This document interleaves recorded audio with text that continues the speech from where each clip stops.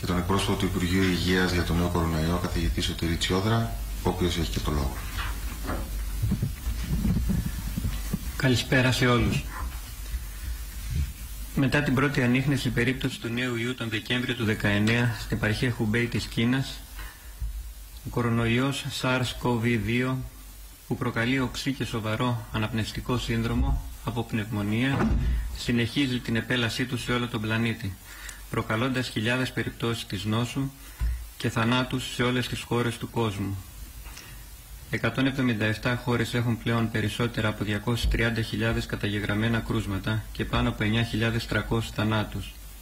Υπολογίζεται πως μόλις το 15% αυτών καταγράφεται. Η Ευρώπη βρίσκεται στο επίκεντρο αυτής της επιδημίας. Ανακοινώνουμε σήμερα 46 νέα επιβεβαιωμένα κρούσματα της νόσου στη χώρα μας. Ο συνολικός αριθμός των επιβεβαιωμένων κρουσμάτων ανέρχεται σε 464. 72 από τα κρούσματα έχουν απροσδιόριστη πηγή μετάδοσης. 78 ασθενείς νοσηλεύονται, εκ των οποίων οι 16 είναι διασωληνωμένοι σε νοσοκομεία της Αθήνας, της Θεσσαλονίκης και των Πατρών. Ευχόμαστε σε όλους σοβαρά ασθενείς συμπολίτες μας γρήγορη ανάρρωση. Όλοι τους παίρνουν ειδική αντιοική θεραπεία.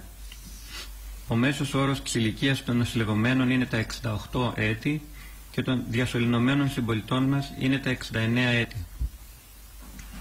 Τα περισσότερα επιβεβαιωμένα κρούσματα εξακολουθούν να είναι στην Αθήνα, ενώ συνεχίζουν να ελέγχονται εκατοντάδες δείγματα κάθε μέρα για την παρουσία του νέου ιού.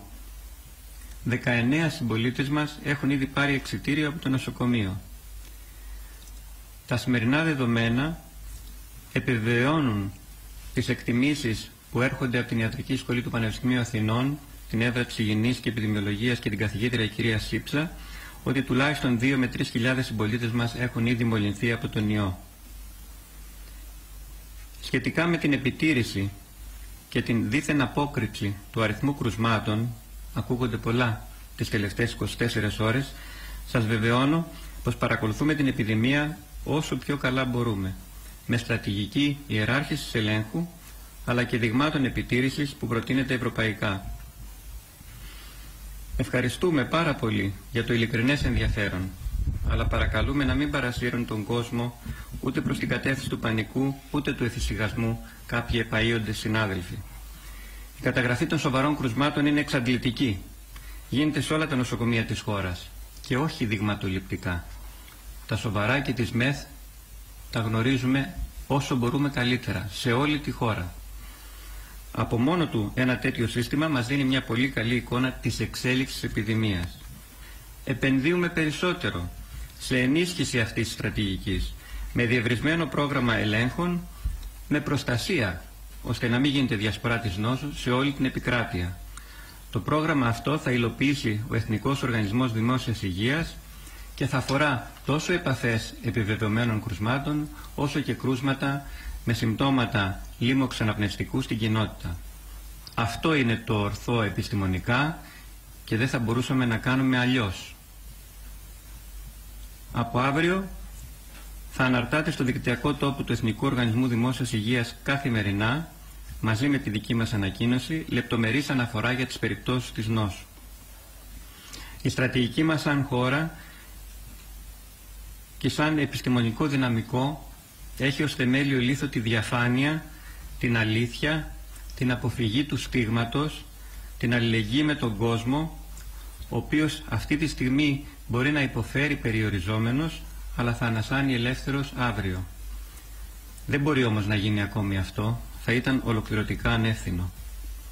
Αυτή τη στιγμή θέλω να εκφράσω τα βαθιά και ειλικρινή μου συλληπιτήρια στις οικογένειες αυτών που έχασαν τους δικούς τους, Ακούσατε σήμερα για έναν συνάνθρωπό μας που έχασε τη ζωή του στην Καστοριά, έναν άνθρωπο με πολλαπλά προβλήματα υγείας, όπως όλοι οι άνθρωποι, οι συνάνθρωποι μας που έχασαν την υγεία τους, που έχασαν τη ζωή τους, που, έχασαν, που τους έχασαν οι δικοί τους.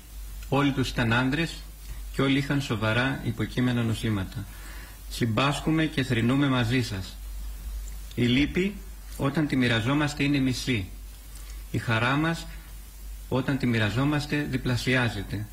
όπως την περίπτωση του νεογέννητου χθες στο Αττικό, το οποίο είδε το φως του κόσμου μαζί με τη γενναία μητέρα του, με τη βοήθεια της ομάδας της καθηγήτριας κυρίας Καλανταρίδου, η οποία συμμετέχει και σε ειδική έκδοση οδηγιών από ομάδα επιστημόνων της Επιτροπής και του Εθνικού Οργανισμού Δημόσιας Υγείας.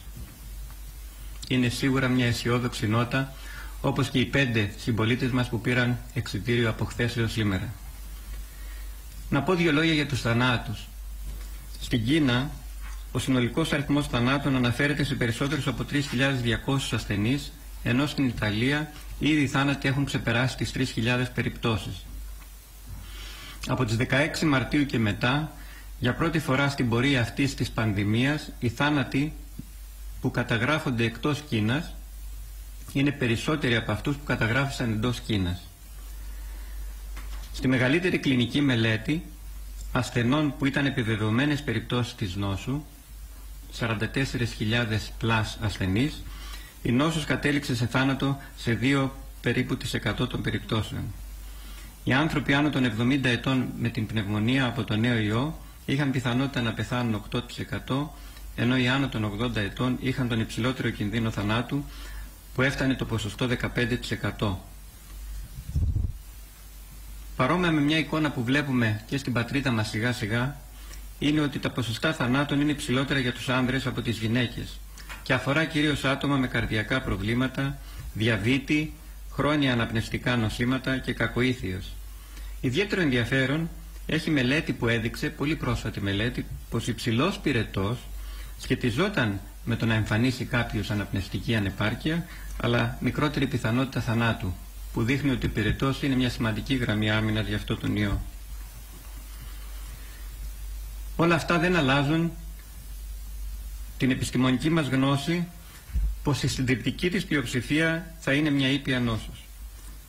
Στους ανθρώπους χωρίς κανένα υποκείμενο νόσημα η θνητότητα παραμένει κάτω του 1% ενώ σε αυτούς με υποκείμενα είναι μέχρι και 10 φορές ψηλότερη. Η εμφάνιση δύσπνιας είναι το κύριο κλινικό σύμπτωμα που δείχνει εξέλιξη προς σοβαρή πνευμονία και αναπνευστική ανεπάρκεια στα μέχρι τώρα προσεκτικά καταγεγραμμένα περιστατικά της νόσου από διεθνή μελέτη. Παραμένουμε και είμαστε προσιλωμένοι σε δύο στόχους που αφορούν τη δημόσια υγεία. Να προφυλάξουμε τις ευπαθείς και να κολλήσουμε όσο το δυνατόν λιγότεροι ταυτόχρονα. Δεν μπορεί τα πλοία μας να έχουν εικόνα 15 Αύγουστου, με άπειρο κόσμο να σειραίει στα νησιά. Υποβαθμίζει όλη μας την προσπάθεια. Αυξάνει τον κίνδυνο για νησιώτες ηλικιωμένους, ντόπιους κάτοικους και δυσκολεύει την ανταπόκριση του συστήματος υγείας σε τυχόν μελλοντικά σοβαρά κρούσματα εκεί, με δυσκολίες στην οσυλία και στη διακομιδή. Όσον αφορά τα αισιόδοξα μηνύματα για τη θεραπεία που πήραμε χθες, θέλω να βεβαιώσω πως υπάρχουν επαρκείς ποσότητες των φαρμάκων για τους ασθενείς. Ο αλγόριθμος που υλοποιήθηκε χθες το βράδυ από την ελληνική εταιρεία Λιμόξων και τον πρόεδρό της κύριο Γαργαλιάνο μαζί με ομάδα επιστημόνων συζητήθηκε σήμερα στην Επιτροπή μας και θα σχολιαστεί και εγκριθεί και από την ελληνική εταιρεία εντατικής θεραπείας. Τα σοβαρά περιστατικά απαιτούν συνδυασμένη θεραπεία με κοκτέιλ φαρμάκων που κάποια είναι μόνο νοσοκομιακά είδη. Ταυτόχρονα η ειδική ομάδα της Επιτροπής μας ήδη εξετάζει την πιθανή χορήγηση ορού και τις συνθήκες που μπορεί να γίνει αυτό από ανθρώπους που έχουν αναρρώσει από την νόσο, συμπολίτες μας. Άλλο ένα αισιόδοξο μήνυμα έρχεται σήμερα. Ξεκίνησε η πρώτη πειραματική κλινική έρευνα για εμβόλιο στις Ηνωμένες Πολιτείες Αμερικής. Θα εξετάσει 45 ανθρώπους για την απάντησή τους με αντισώματα σε διαφορετικές δόσεις του νέου εμβολίου. Αυτό θα δίνεται σε δύο δόσεις με διαφορά 28 ημερών. Ήδη τέσσερις εθελοντές έχουν πάρει την πρώτη δόση. Τα πρώτα αποτελέσματα αυτής της μελέτης αναμένονται σε τρεις μήνες και αυτό δείχνει ότι δεν μπορούμε να ευελπιστούμε σε μια ταχεία και μαζική παραγωγή εμβολίου πριν περάσει τουλάχιστον το καλοκαίρι. Θέλω από την καρδιά μου να ευχαριστήσω τους συναδέλφους μας και τις ομάδες τους που είναι στην πρώτη γραμμή της μάχης τόσο στον Εθνικό Οργανισμό Δημόσιας Υγείας, τόσο στα νοσοκομεία, τόσο στα κέντρα υγείας, στους γιατρούς όλων των ειδικοτήτων, παθολόγους, λοιμοξιολόγους, πνευμονιολόγους, εντατικολόγους, αναισθησιολόγους, γενικούς γιατρούς, ακτινολόγους, εργαστηριακούς και όλους τους γιατρούς των υπόλοιπων ειδικοτήτων που δίνουν τη μάχη σώμα με σώμα, τη μάχη της ζωής και όχι του θανάτου.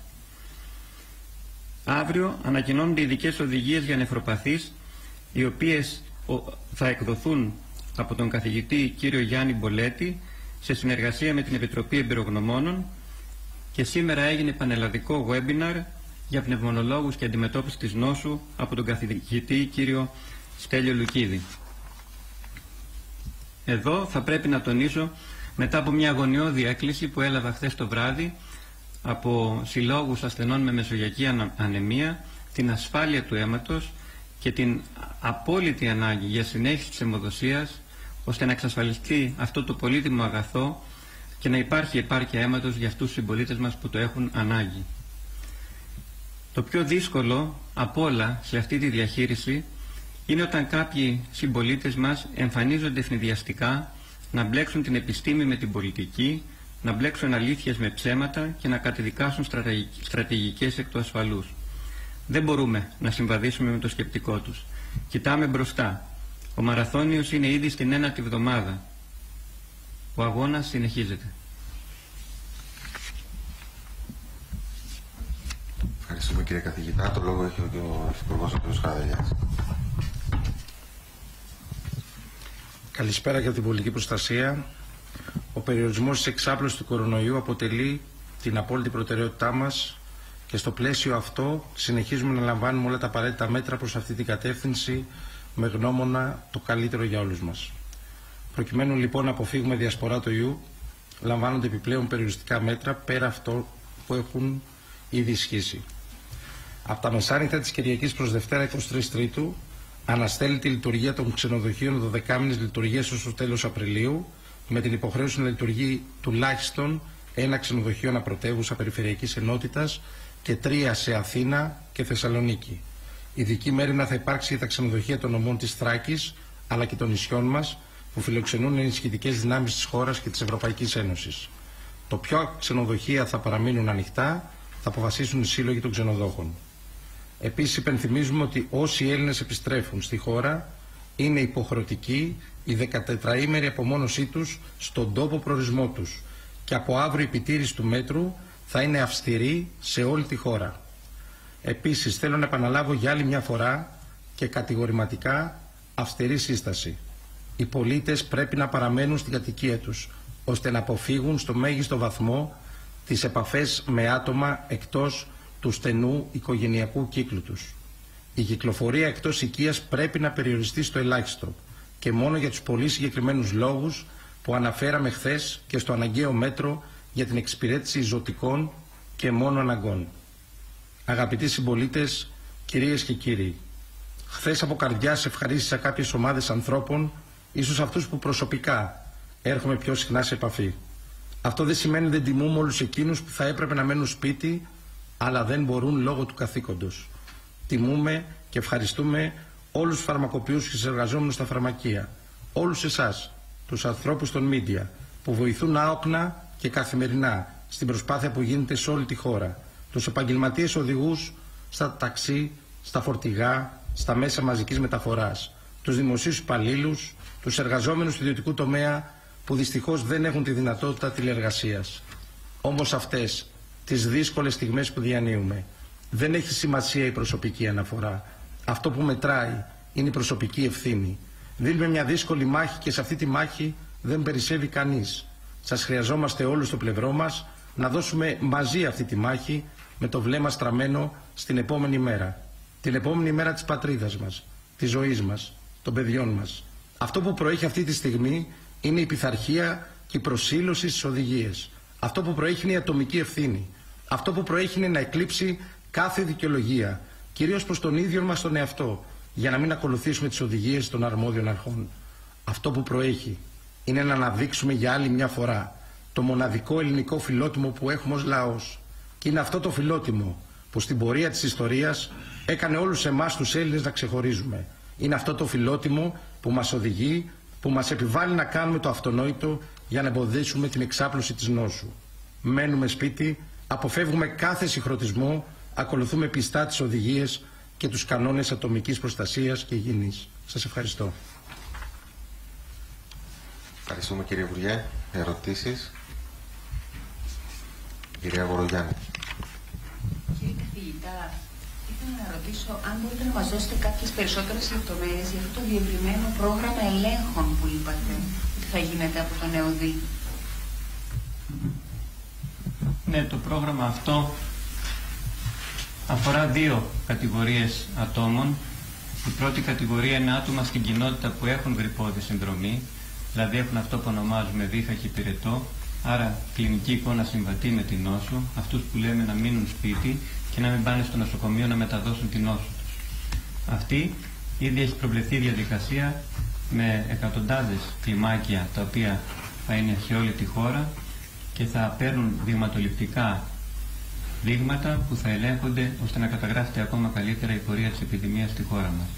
Η δεύτερη κατηγορία ανθρώπων είναι σε συνεργασία με το Πανεπιστήμιο Αθηνών και τον καθηγητή κ. Γκίχα Μαγεργίνη θα αφορά επαφές επιβεβαιωμένων κρουσμάτων ώστε γρήγορα με τη βοήθεια και της πολιτικής προστασίας την οποία εξαιρετικά ευχαριστούμε έχει δώσει πάρα πολλά τις τελευταίες μέρες αυτή τη διαδικασία την εξαντλητική της ιχνηλάτησης να εχνηλατούμε τα περιστατικά και να διακόπτονται περαιτέρω κύκλοι μετάδοσης στην κοινότητα στη χώρα μας. Θεωρώ ότι είναι και οι δύο στόχοι πολύ σημαντικοί ώστε να έχουμε ακόμα καλύτερη εικόνα των επιδημιολογικών δεδομένων. Σας ευχαριστώ. Ο κ. Μεγκής. Κύριε καθηγητά, μας είχατε προειδεάσει και προημερών για αυτόν τον αλγόριθμο από την Επιτροπή του κ. Γαργαλιάνου. Είπατε τότε ότι μπορεί να δοκιμάζαμε και κάτι που δεν έχει δοκιμαστεί σε άλλες χώρες. Θα δοκιμάσουμε κάτι ξεχωριστό εμείς από αυτά που έχουν δοκιμάσει τα φάρμακα άλλες χώρες; Ευχαριστώ. Πρέπει να καταλαβαίνετε εδώ πέρα ότι όλα γίνονται με κάποιους κανόνες. Δεν μπορεί κά, κάποιος να μπαίνει ε, σε αυτό το χορό χωρίς να τηρεί συγκεκριμένα πρότυπα και στάνταρ. Αυτά τα στάνταρ καθορίζονται στην Ελλάδα από τον Εθνικό Οργανισμό Φαρμάκων και όταν πρόκειται για νέα φάρμακα που δεν έχουν έγκριση πρέπει να γίνεται υπομορφή κλινικής μελέτης.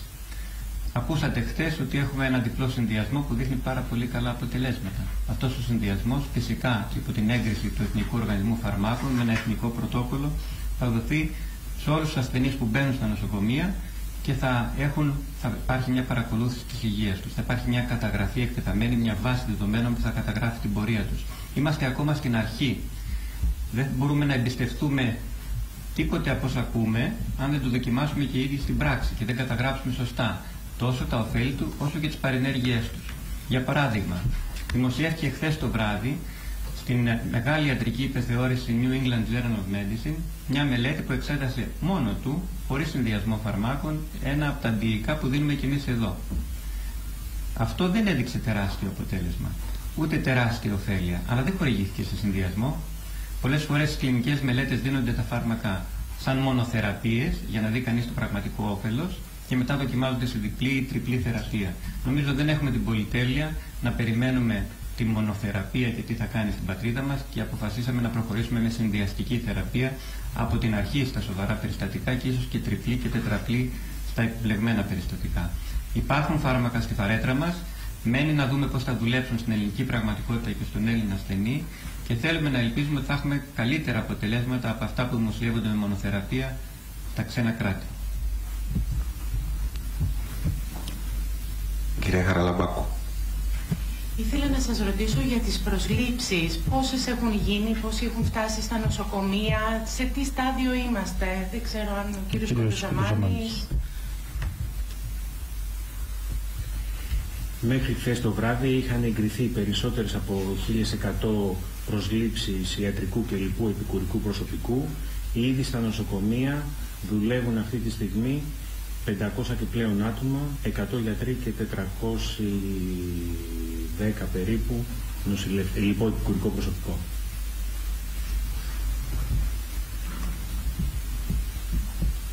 Κυρία Αγγελοπούλου.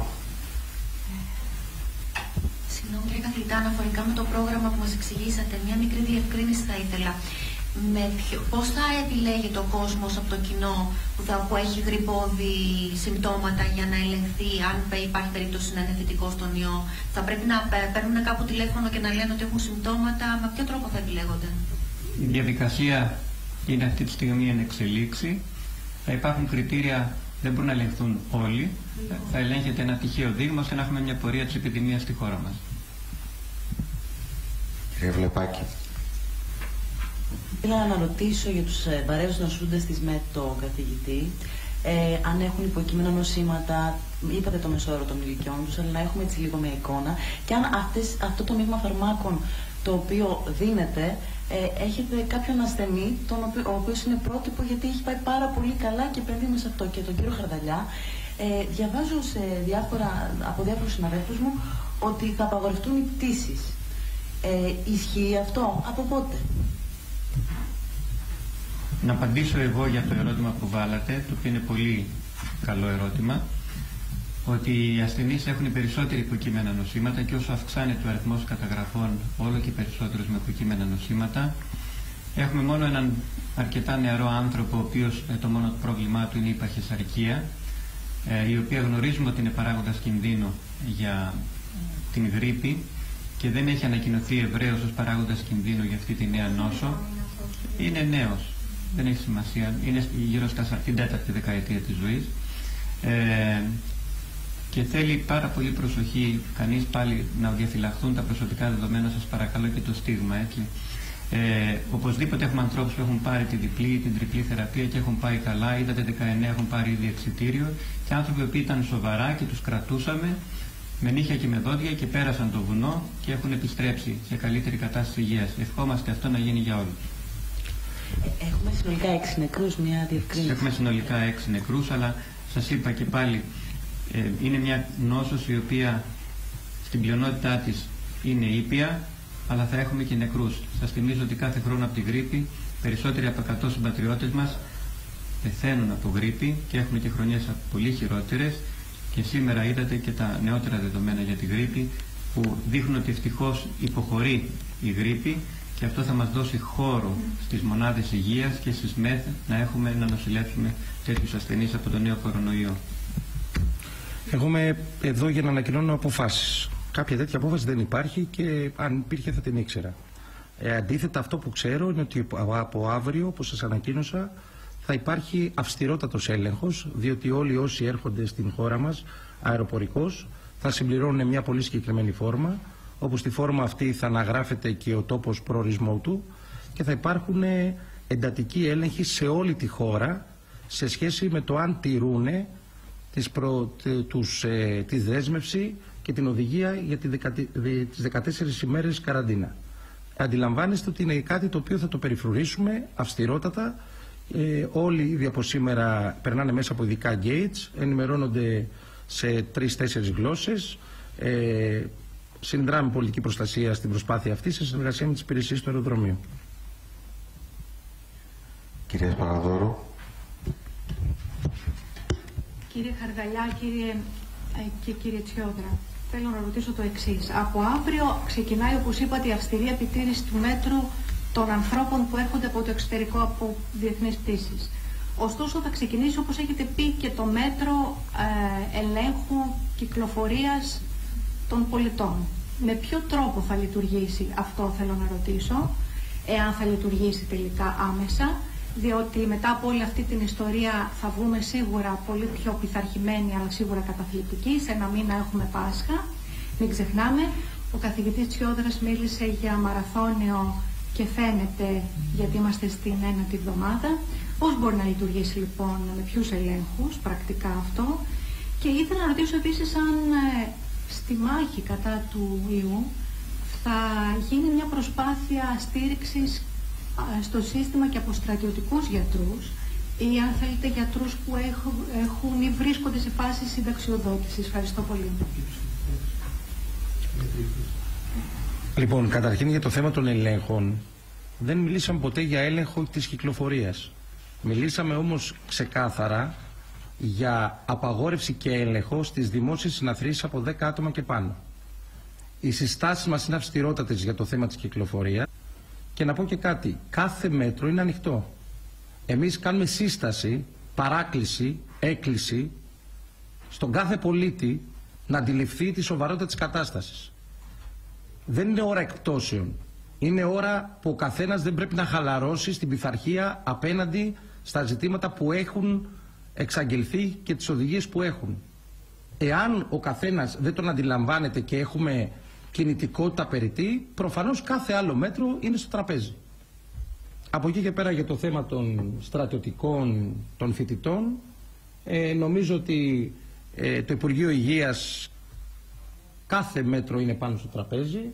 Υπάρχουν ε, σχέδια ανάλογα με τις εξελίξεις που στον κατάλληλο χρόνο και εφόσον απαιτηθεί θα δρομολογηθούν και θα τεθούν σε ενέργεια. Τελευταία ερώτηση, κυρία Μανουσάκη. Κύριε καθηγητά, αν δεν κάνω λάθος και δεν σημειώσα λανθασμένα, ε, μας είπατε ότι εξετάζεται χορήγηση ορού από ανθρώπους που έχουν αναρρώσει. Λίγες πληροφορίες για το τι ακριβώς εννοούμε; Εντάξει, είναι μια περίπλοκη διαδικασία η οποία περιλαμβάνει τη βοήθεια των αιματολόγων, ε, γίνεται με πλασμαφέρεση. Ομάδα αιματολόγων από το νοσοκομείο Αττικό έχει εμπλακεί στο να γράψει μια διαδικασία υπό την ηγεσία της καθηγήτριας της κυρίας Παπά και του κυρίου Παπαγεωργίου. Αυτή η διαδικασία θα συζητηθεί στην Επιτροπή ώστε να δοθεί ευκαιρία σε κάποιους που είναι ιδιαίτερα βαριά, κάποιους για τους οποίους βλέπουμε ότι τα φάρμακα δεν δουλεύουν καλά, να πάρουν τα αντισώματα από αυτούς που έχουν γίνει καλά. Αντίστοιχη εμπειρία υπάρχει στο εξωτερικό και ιδιαίτερα από προηγούμενες επιδημίες όπως το SARS-1 και το MERS και έχει οδηγήσει σε μερικές δύσκολες περιπτώσεις σε πολύ καλά αποτελέσματα. Είναι μια διαδικασία ανάλογη με αυτή που έχετε ακούσει για μονοκλονικά αντισώματα που επιτίθενται στον ιό και παράγονται με διαγωνιδιακές ε, τεχνικές ε, οι οποίες ε, ε, χρησιμοποιούν ακόμα και ζώα παραγωγής γάλακτος. Ε, θέλω να πω ότι αυτό οπωσδήποτε είναι ένα τελικό μέτρο και χρειάζεται πάρα πολύ προσοχή να γίνεται με ειδικά μηχανήματα που τα έχουμε στην Ελλάδα. Έχει δοκιμαστεί σε άλλες χώρες ή... Σε κάποιες χώρες έχει δοκιμαστεί, ε, καταλαβαίνετε όμως ότι είναι ένα μέτρο το οποίο είναι τελικό. Σας ευχαριστούμε πολύ.